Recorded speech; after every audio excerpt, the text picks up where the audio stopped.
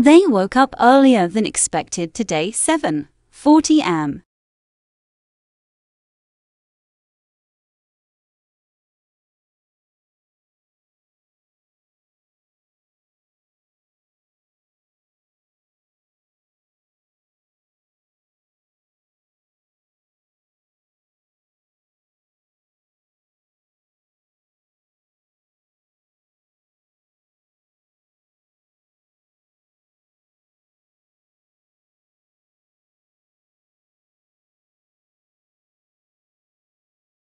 And ate at 8:20 a.m.